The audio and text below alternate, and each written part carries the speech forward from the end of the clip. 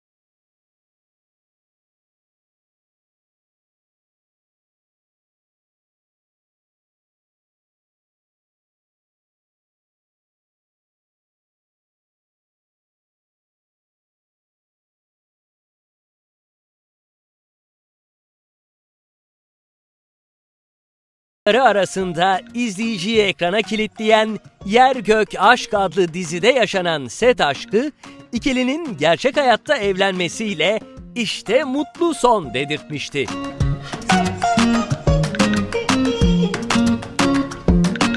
Birce Murat aşkı ne yazık ki uzun sürmedi ve çift bir yıl süren evliliklerini anlaşmalı olarak sonlandırma kararı aldı.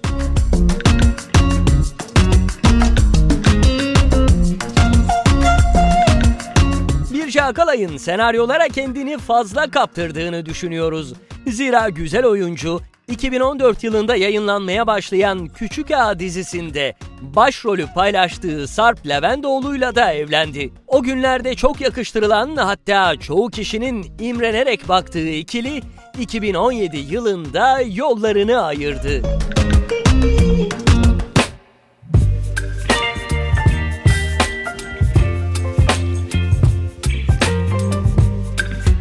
Tabii dizi aşkları hep mutsuz sonla bitecek değil. Bergüzar Korel, Halit Ergenç çifti de bunun en güzel örneklerinden biri.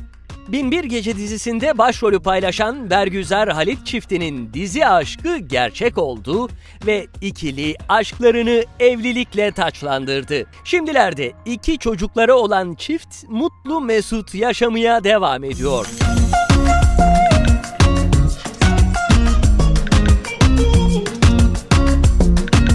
Neslihan Atagül ve Kadir Doğulu son dönemin en çok yakıştırılan çiftleri arasında. Genç aşıklar 2016 yazında dünya evine girmişti. Ve hala aşkları ilk günkü heyecanıyla devam ediyor. Çiftin aşkı nasıl başladı derseniz, onlar da dizi aşkını gerçeğe dönüştürenlerden. Fatih Harbiye dizisinde yakınlaşan ikilinin mutluluğunu görünce iyi ki aynı dizide oynamışlar demeden geçemiyoruz.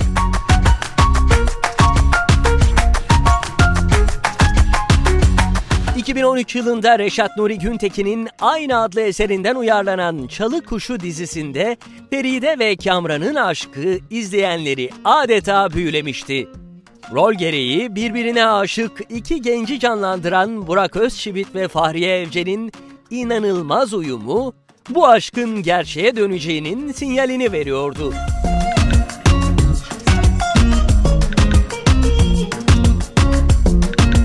Burak Özçivit dizinin çekildiği dönemlerde Ceylan Çapa ile birlikteydi. Üstelik ihanet iddiaları ve Ceylan Çapa'nın kıskançlık krizine girdiğine dair haberler magazin gündemini oldukça meşgul ediyordu. Sonunda beklenen oldu. Burak Özçivit, Ceylan Çapa aşkı bitti. Yakışıklı oyuncu Aşk Sana Benzer adlı filmde yine Fahriye Evcen'le bir araya geldi.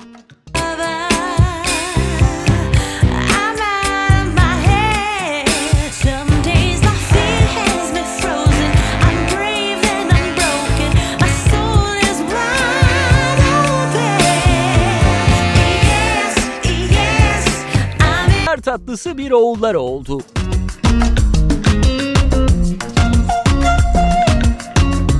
Oyuncu kadrosu ve senaryosuyla günümüz dizilerinden kolayca ayrılabilen 80'lerde hayırlı bir işe vesile oldu. Dizide Almanya'dan gelen Şahin ve pastacı Sami'nin kızı Elvan, 80'li yılların şartlarına göre masum bir aşk yaşıyordu.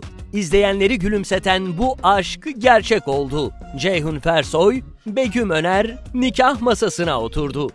Üstelik Ceyhun Bey'in Begüm Hanım'a ettiği evlenme teklifi de oldukça ilginçti. Begüm Öner ilk başta bu teklifin senaryo gereği olduğunu zannediyordu. Yani kendisine gerçek anlamda büyük bir sürpriz oldu.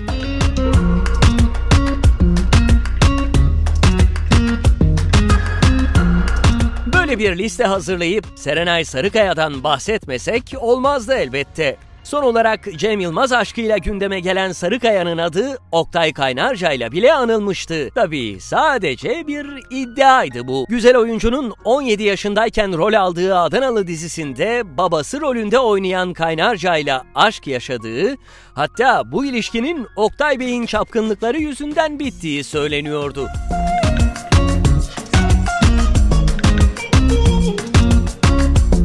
Henüz 29 yaşında olan Sarıkaya'nın aşk defteri biraz kabarık. Genç oyuncu bir dönem Lale Devri dizisinde birlikte rol aldığı Tolgahan Sayışman'la da aşk yaşadı.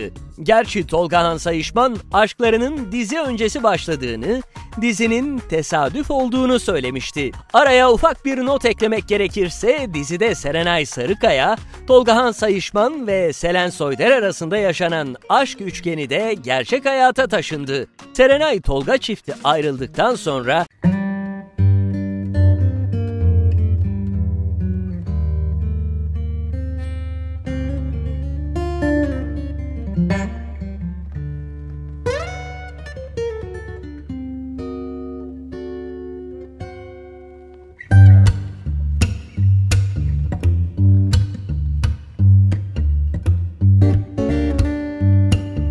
Cezir dizisinde rol icabı aşk yaşayan ikili bu aşkı gerçek hayata da taşıdı. Ancak ikili dizi bitince sürpriz bir şekilde ayrılma kararı aldı.